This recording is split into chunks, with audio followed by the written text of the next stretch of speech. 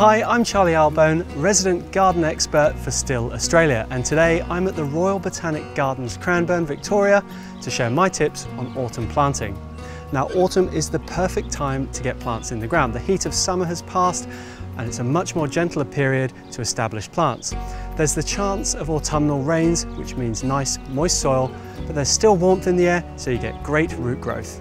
When planting flowers in autumn, incorporate lots of compost into your soil. Whether it's a combination planter or a garden bed, the trick with your autumn planting is to start with the tallest plants first, followed by your fillers and then your spillers. Tall plants could be kangaroo paws or native grasses, while rosemary dampiera and everlasting daisies are great filler shrubs. For your spillers, you'd be looking at ground covers such as scaevola.